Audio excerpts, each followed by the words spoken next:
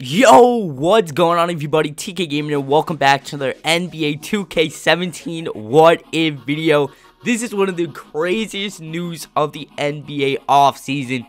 The New York Knicks just came out and said they are not no one's untouchable, not even Kristaps Porzingis on the New York Knicks. So this could mean that Kristaps could be in a deal this offseason to get rid of him and basically just blow up that whole New York Knicks team because they're obviously trying to get rid of Carmelo, but he's got that trade clause, so they're thinking about buying him out. But Kristaps Porzingis, the guy could be on the trade market. The huge, how tall is he? He's 7-3 has one of the biggest upsides in the NBA. He's how old? 21 years old, so much more to prove, and he's one of the best young players in the NBA. So what if he goes to the Boston Celtics? There have been many rumors that obviously the Celtics need a rim protector, a rebounder. So why not go to the Boston Celtics? So this team would look nasty. Obviously, Kristaps is going to develop many years into the future. Him and Isaiah Horford, and then Gordon Hayward if they bring him in the offseason. Then a top three draft pick, which they might have to trade, but still, it would be Isaiah Thomas, Avery Bradley, Jake Crowder, Kristaps, and Al Horford. This team would be unbeatable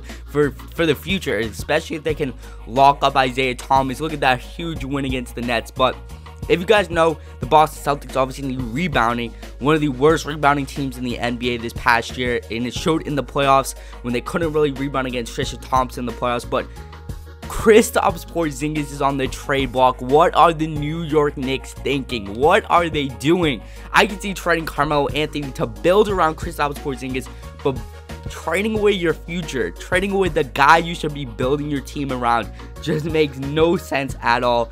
I don't get what they're thinking, even putting Kristaps Porzingis' name in the rumors of trying to trade him. That is crazy. And that said, Boston Celtics got all the assets to get him. They got first round picks, second round picks. They have two future ones that the 76ers gave them, and then they have this year's. They have so many picks to give the New York Knicks if they want to blow up that team and really refunction that team.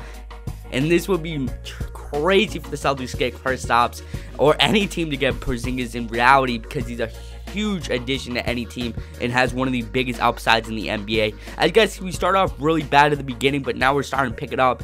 Getting the team chemistry right there. Isaiah Thomas, Kristaps, lobs all day long. So I'm going to continue simulating to the end of the season. As you guys see, our first game against the Knicks, we lose by 9 points. But Kristaps obviously is going to be a huge addition to this team, especially in the playoffs when you need that rim protector.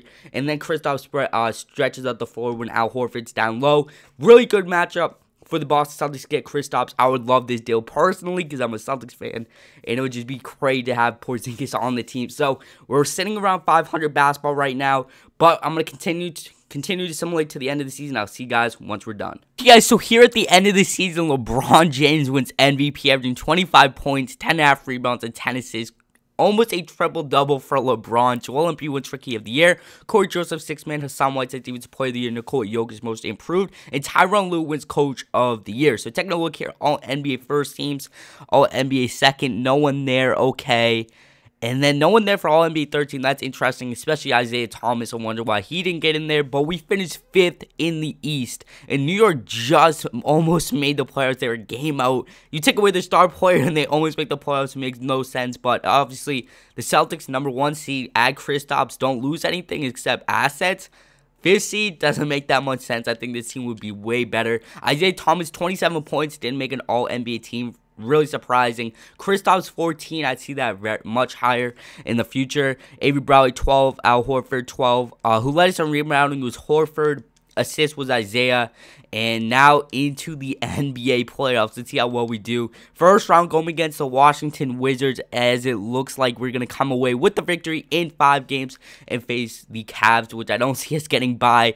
As okay, we do. We get by the Cavs somehow. Kristaps 12 and 12. LeBron had a triple double. Wasn't enough to get past us. As now we go on to the NBA Finals where we're facing the Spurs. Don't know how we go on to the NBA Finals. We lose in five games to the Spurs. David Leisure Finals MVP. What? What about Kawhi Leonard? Kawhi was injured and this team still beat us. Surprising. I don't know what's going on with 2K. But this would be a crazy trade rumor. It's obviously a crazy trade rumor. But if you went to the Celtics and he does get traded, it would be so crazy. So tell me guys in the comment section where you think Kristaps Porzingis is going to go. And thank you guys for watching. Um, Make sure that like button, comment, and subscribe. So thank you guys for watching. It's been your boy T Gamer Tommy. Don't forget to hit that like button, comment, and subscribe. And I'll catch you guys next time.